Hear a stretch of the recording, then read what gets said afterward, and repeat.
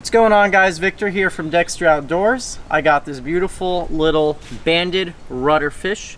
I'm going to show you guys how to fillet it, how to clean it, how to skin it, and how to process it so you guys can enjoy it at home. So for today's fillet demo, I'm going to be using an 8 inch Dexter flexible fillet which comes with an edge guard. It's this really cool protective sheath so if you guys want to stick it in your tackle box or your knife bag or something, it keeps your hands and your blade protected. So let's begin. As with any fish, I always feel around the head meat to see where the soft part of the head meat ends, which I can see is right around here. So we're gonna go in around the pec fin right here, down to that fin right there.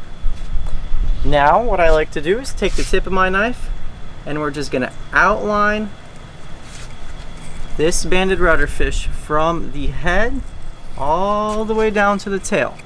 Once I got that, I'm gonna take my knife, rest it on the fish's spine, and just work my way up, making sure that I can feel the spine the entire time.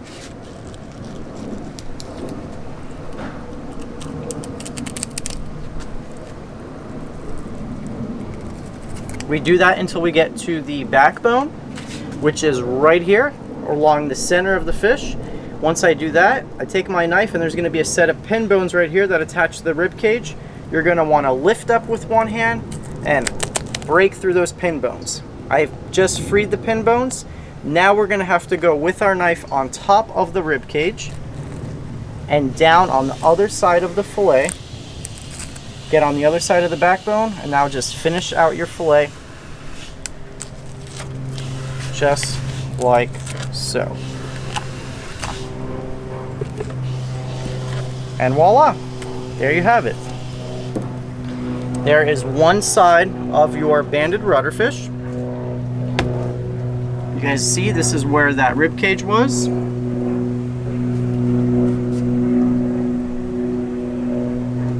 Side real quick, we're gonna flip our fish around. When I get to this side, I'm right-handed, so I like to work from the head to the tail. So what I'll do is get my knife right here and same thing go from the head all the way down to the tail very superficially on the fish's spine just outlining our fillet.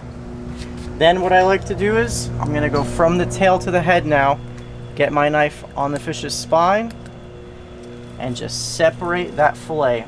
And having this flexible fillet really makes it easy to uh, you know contour to the fish's body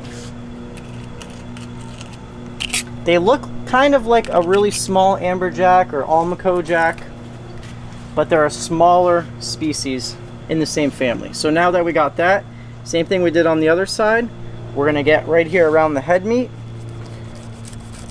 right there, around the pec fin, down to that fin. Same thing, once again, we gotta break through the pin bones. The pin bones are right here along the lateral line and they, they attach the rib cage to the fillet. So you want to take your knife and break through them. You'll know when you break through them because now you're going to be able to see the rib cage. Now that we see the rib cage, we're going to try to glide over it and go on the other side of this backbone. Here's the backbone right here. Get your knife on the other side of the backbone. Free your fillet. Once we got that, just continue to finish.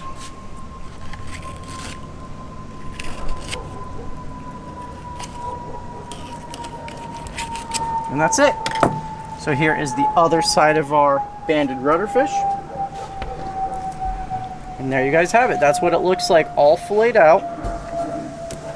Another reason I like this knife is because it's good for filleting, but it's also good for skinning.